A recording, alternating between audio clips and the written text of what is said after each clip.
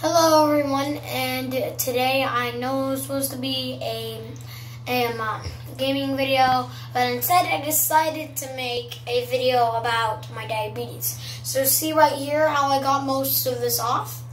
Well, this bandage right here, some people say that it's, that it's not waterproof, and I believe that because um, best way to get rid of it if you if you don't like doing it fast if that hurts for you.